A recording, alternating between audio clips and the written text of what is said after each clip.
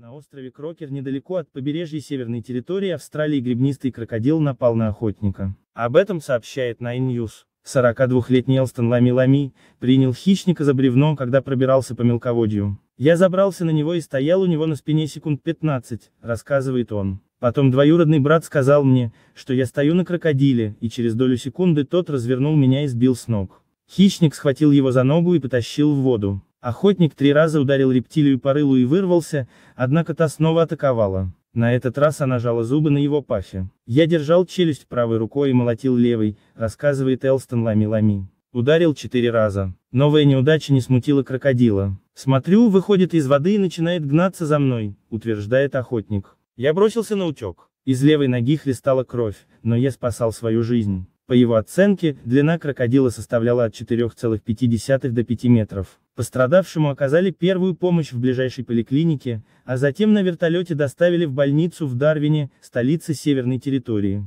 Гребнистый крокодил считается одним из крупнейших хищников на планете. Самцы этого вида достигают 7 метров в длину и могут весить до 2 тонн. Они встречаются на восточных берегах Индии, во многих странах Юго-Восточной Азии, в Папуа, Новой Гвинее и на севере Австралии. В сентябре сообщалось, что во Флориде аллигатор укусил аналитика. Сотрудница компании ГПИ, собиравшая данные в заповеднике Эверглейдс, приняла рептилию за бревно и наступила на нее.